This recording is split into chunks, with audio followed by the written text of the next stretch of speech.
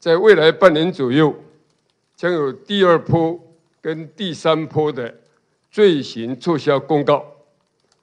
在今天这个非常具有特殊意义的日子，在这里我仅表达三点。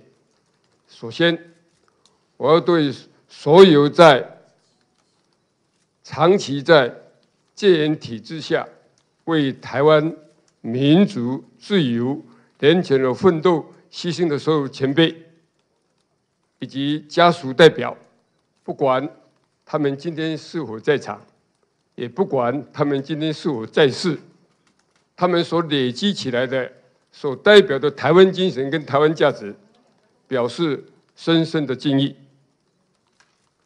第二，今天促转会罪行撤销公告仪式。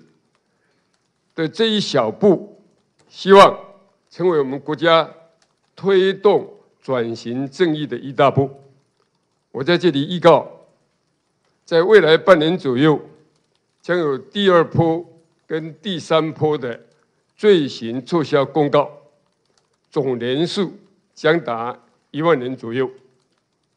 第三，今天这个仪式是出转会在非常。有限的时间所展现的团队表现，呃，谢谢所有工作人员的辛苦，谢谢他们的辛苦，是不是请我们所有来宾给他们一个掌声，一个鼓励，也给出展会一个温暖，谢谢大家。